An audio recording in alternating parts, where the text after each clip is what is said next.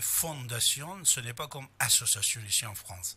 Fondation, c'est une boutique pour éviter de payer des impôts D'accord? Euh, euh, ils, Au lieu, ils ne payent pas des impôts. En plus, puisqu'ils sont unis euh, dans le club, euh, euh, ils sont tous, tous pareils, tous euh, dans la même organisation. Euh, si euh, Mark Zuckerberg il donne 150 millions de dollars à Bill Gates pour sa fondation, cette fondation, en même temps qu'il fait de recherche, en même temps il fabrique euh, les médicaments. Ce sont des Euh, United. c'est une société euh, qui est basée en Chine. Euh, il fabrique, par exemple, actuellement, écoutez, calculez seulement combien de masques a été vendu depuis deux mois dans le monde. Et combien ça va être vendu? En plus, ils ont mis une condition. Comme quoi on ne vend pas seulement le masque. Si vous voulez acheter le masque, à côté, vous devez acheter des installations pharmaceutiques, hospitalières. Et Xavier, tu sais, même euh, depuis euh, 2015, 2014, jusqu'à 2018, 19, même jusqu'à aujourd'hui, comme Bill Gates, et toujours il dit, ah, we are not ready for cette virus. Euh, euh, ce, virus-là va arriver, il va tuer des millions de gens et nous ne sommes pas prêts. Quand il dit nous ne sommes pas prêts, ça veut dire quoi? Ça veut dire que vous deviez par avant acheter et de, de tous les groupes euh, pharmaceutiques, hospitaliers, des usines de laboratoires qui sont dans le monde, et ils sont tous associés dedans. Parce qu'à part de Wuhan, à part de Wuhan, même autour de la Chine, en Kazakhstan, l'Ouzbékistan, tout ça, il y a des laboratoires que les Américains, c'est l'argent, c'est-à-dire pas le gouvernement, ils ont ouvert, c'est des laboratoires pharmaceutiques. Et imaginez-vous dans les mois qui viennent, combien de milliards ils vont gagner en vendant des masques, et de vaccins et des installations modernes informatiques. Toujours. Microsoft, il est dedans. Microsoft, il est dedans. Excusez-moi, si je peux intervenir. On vous écoute, Xavier. Merci. Moi, moi c'est mon point de vue. Ces gens-là aussi traînent avec la mafia. C'est mon point de vue. Voilà. Je n'ai pas de preuve parce que j'attendrai votre confirmation ou votre euh, ou votre euh, négation. Euh, c'est mon point de vue. Ces gens-là traînent avec la mafia. Ces gens-là, ils, ils- ils- voilà quoi. Ils, ont des, matériellement, ils ont les pouvoirs total. Matériellement, matériellement. Pas total. Il ne faut pas dire totalement, puisque toujours il y a des pays, des gens, des hommes politiques qui sont contre. C'est-à-dire, en face d'eux, euh, c'est vrai qu'ils ils sont, ils, gèrent la majorité des pays et des organisations internationales dans le monde, mais quand même, euh, il y a des gens, il y a des gens, il y a des organisations, il y a des, pays qui sont contre, quand même, hein, il y en a, il faut le dire. Il faut le dire. Bien sûr, bien sûr. Il faut- par exemple, ici, im- imaginez-vous euh, notre gouvernement, qui en est pour ou contre? Qui en est pour ou contre? Euh, Oui. Qui soit Edward Philippe. Parce que, euh, imaginez-vous, Edward Philippe n'est pas un élève de Macron, et Macron non plus, ce n'est pas quelqu'un qui va écouter Edward euh, Philippe toujours. Mais ces deux-là, d'accord. ils, ils- ils mènent bien le combat contre cette virus. Ça, il faut le dire. Ils n'ont pas tombé dans le piège euh, de ce mouvement mondial international comme ils voulaient. Ah, euh, En fait, Macron, il a bien le cul entre deux chaises. Pardon? Macron, il a le cul entre deux chaises. Euh, ah, on est obligé, écoute, tout à l'heure, tu as entendu Elisabeth, qu'est-ce qu'il disait? Moi-même, moi, David Abbassi, comme quelqu'un qui présente euh, une émission, et il a peur pour moi. De l'autre côté, les gens comme Macron, ils ont peur pour leur peuple. Imagine-toi que cet euh, virus de euh, Corona, si euh, on le fait élargir comme on a fait en New York, comme, comme on a fait en Iran, Comprends? Ah, ah, il aime son peuple quand même. Euh, Parce qu'il y a une chose que vous devez savoir, tout le monde doit savoir, Xavier. Euh, un euh, responsable politique, euh, surtout si c'est un roi ou c'est un président, c'est vrai qu'au départ, quand il a pris le pouvoir, peut-être il y avait des subventions à droite à gauche, mais quand il prend le pouvoir, il pense à son peuple. C'est pour ça, tout, tout- toujours, il ne peut pas nous donner toutes les informations secrètes. Jamais il ne peut pas nous donner. Jamais il ne peut pas dénoncer ce que Luc, professeur Luc Montignon, il dit. Président de la République ne peut pas dire ça, parce que sinon, comme Trump, il faut entrer en guerre avec la Chine. On peut pas. On, on, a besoin de ces masques. On a besoin de d'autres choses. On ne sait pas comment ces virus a été dispatché dans le monde. On ne sait pas. Il y a beaucoup de questions. Pour ça, les hommes politiques qui arrivent à une échelle euh, nationale, n'importe qui, euh, il va réagir comme, général de Gaulle. Écoute, général de Gaulle, il prend le soutien, l'aide des Américains et des Britanniques contre les nazis. Mais une fois qu'il entre à Paris, jamais il n'est pas un esclave des Britanniques. Jamais Charles de Gaulle n'est pas un esclave des Américains. Et pourtant, il pensait comme ça. Hein. Pourtant, il pensait qu'on ah, va soutenir cette euh, marshal général. Euh, après, nous avons la France, comme ils ont pu ou d'autres pays. Mais Charles de Gaulle, il a profité, mais il a resté fidèle à son patrie. Alors, il est resté intègre. Voilà, intègre. alors, ça aussi. Et vous croyez qu'il y a de ça chez Macron? Euh, Moi, je dis ça dès le départ. Macron, c'est quelqu'un qui pense à la France, euh, ah, d'accord. Voilà. Euh, euh, Edouard Philippe aussi, hein, c'est-à-dire Edouard Philippe, ces deux personnes-là. Edouard Philippe, il était à côté d'Alain Juppé pendant des années, maire de Havre. Ces gens-là ne sont pas comme ce gars-là qui, qui, dirige l'Organisation mondiale de la santé. Tu comprends? Mmh. Oui, je comprends. Voilà. Ah, ah, lui, s'il avait la même responsabilité que les autres, ils ont eu dans cette organisation mondiale, s'il aurait pensé à l'humanisme, vous allez voir, allez-y étudier la vie de ce monsieur-là, docteur Tedor Ghebreyesus. Euh, ce monsieur-là, euh, il y a des procès contre lui, comme quoi euh, il avait des problèmes extrémisation de certains euh, mouvements politiques qui étaient d'autres tribus, d'autres races, d'autres ethnies en Éthiopie, parce qu'il est éthiopien. En Éthiopie, hérité ce n'est pas moi qui je dis, il existe euh, le procès contre lui, comme quoi euh, il a tué 690 personnes, euh, il, est, il participait dans ça, patati patata, il y a d'autres choses.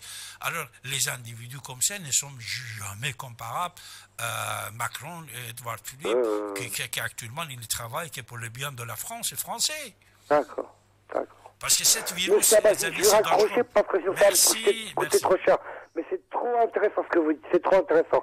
Au revoir, monsieur, et bon courage à vous, bon courage. Que Dieu vous garde, je vous le dis sincèrement. Au revoir, monsieur. Merci, je vous embrasse. Voilà, c'est-à-dire que euh, Macron lui-même, euh, notre président, euh, plusieurs fois, il a annoncé comme quoi nous sommes en guerre. Ça, c'était le courage d'un président de dire que nous sommes en guerre. Vous, avez compris qu'est-ce qu'il voulait dire Nous sommes en guerre. Quand on est en guerre, on soutient le, gouvernement, on soutient le euh, Premier ministre. Euh, euh, alors, peut-être à droite, à gauche, il, y a des directeurs, je ne sais pas quoi, qui vont embêter les professeurs comme Didier Raoul, comme Luc Montignon, comme Jean-Jacques Charbonnier, qui vont embêter ces gens-là. Mais vous voyez, président de la République, il va aller visiter professeur Raoul. Il va, se déplacer, il va aller le voir. Et exprès, exprès, je ne sais pas si vous avez pu constater ça ou non, quand il est à Marseille, quand il est avec euh, professeur Raoul, il, euh, va s'adresser euh, aux assistants, aux médecins qui sont autour de Raoul. Il dit, toi, comment tu t'appelles? Il dit, de quel pays tu es? Libanais. Toi, Sénégalais. Toi, Égyptien il a fait exprès, président de la République. Il a fait exprès pour nous dire que, regardez, les gens qui sont au service du peuple dans cette guerre, il y a de tous les pays à côté de Raoul. Il a soutenu Raoul. Alors, bah, peut-être euh, un ministre, il va dire, même un ministre ou un directeur, ou je ne sais pas, quelqu'un, il va dire quelque chose. Mais ça, ce n'est pas le gouvernement français. Voilà, mes chers amis. 08 92 23 95 20. Et comme vous savez, euh, nous sommes, euh, c'est-à-dire les Américains, ils sont en conflit. Et surtout que je viens de parler de Tedro, Tedro Adhanom Ghebreyesus, euh, directeur général de l'Organisation mondiale de la santé. Vous allez écouter, c'est qui ce monsieur-là? Allez, écoutez. Et vous avez la parole. Composez notre numéro. Un air. Trouvez en tout cas le président Donald Trump qui affirme euh, ce matin encore, Philippe Corbet, que le coronavirus vient d'un laboratoire chinois. Oui, ça fait des semaines et des semaines que des soutiens du président Trump sur les antennes, sur les réseaux sociaux répètent une théorie complotiste selon laquelle les Chinois auraient délibérément conçu ce virus pour détruire l'économie américaine et empêcher la réélection du président. J'étais il y a quelques jours à une manifestation de, partisans euh, trumpistes contre le confinement et j'ai entendu cette théorie répétée plusieurs fois. Le président américain a vertement critiqué l'Organisation mondiale de la santé, jugeant trop naïve sa réponse à la pandémie de coronavirus il menace désormais de réduire sa participation financière à une organisation qu'il juge trop complaisante avec Pékin. Nous allons faire une étude, une enquête, et nous allons décider de ce que nous allons faire. Mais d'autres pays, comme vous le savez, ont donné beaucoup moins que les États-Unis. Et l'OMS s'est trompé. Ils se sont trompés à bien des égards. Ils ont eu tort. Ils ont aussi minimisé la menace très fortement. Et pas bien.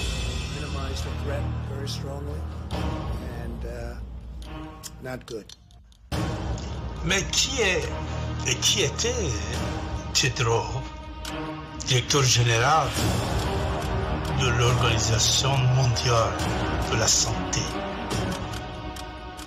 Beaucoup de polémiques quand il était jeune. Il y avait des plans de procès contre lui euh, concernant euh, des éliminations de peuples érythréens ou éthiopiens, puisque lui-même il est d'origine d'Érythrée.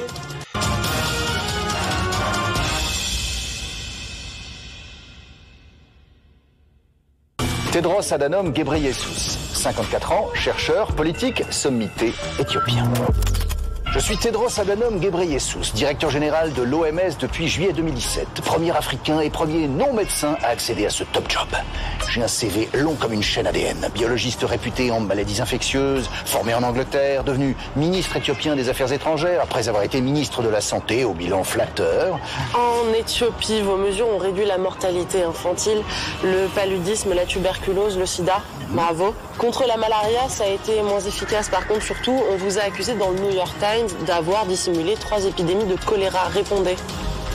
Dénigrement ridicule d'un concurrent. Alors que justement, j'ai fait campagne pour restaurer la transparence au sein de l'OMS, qui avait mésestimé la gravité d'Ebola. Des dissidents éthiopiens vous accusent aussi de complicité dans la répression d'un mouvement de contestation qui a fait 669 morts en 2016. Répondez.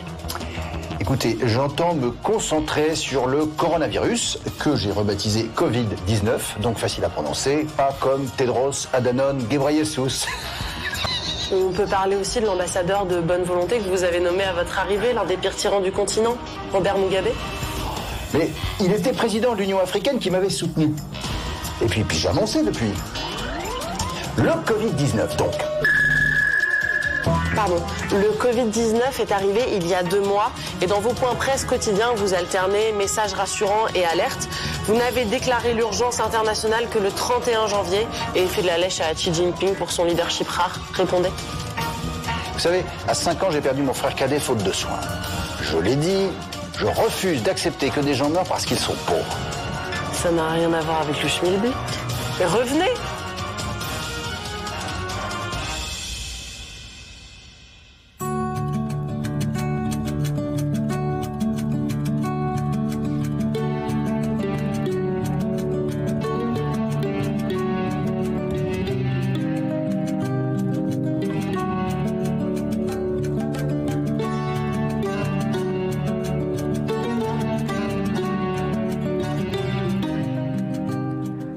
écoutez Radio ici et maintenant sur 95.2 FM. L'humeur du temps vous est présentée par David Abbassi, écrivain et historien, tous les premiers et derniers samedis de chaque mois.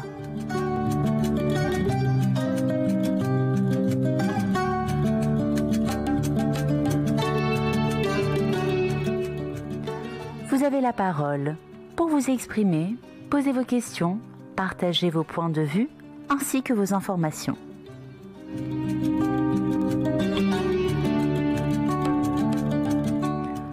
Le numéro du standard 08 92 23 95 20 08 92 23 95 20